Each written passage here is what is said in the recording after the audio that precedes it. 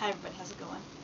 I know I said I'd probably make another video tonight, but um, I'm feeling a little bit better, so I thought I'd share another poem with you guys. And uh, this one's a little bit different. It's like the Chinese mythology, and there was a belief that, like, when when an, when an eclipse occurred, that it was thought to be a dragon eating the sun and that the only way to defeat the dragon was to chase away with a loud noise. Um, of course, the sun returned, because now we know, of course, the earth revolves on the sun. Of course, back in the ancient, ancient times, no civilization in all the world knew that, so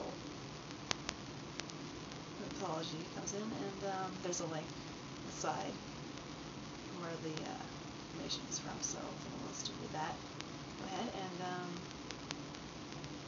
so read the poem. Okay. The sun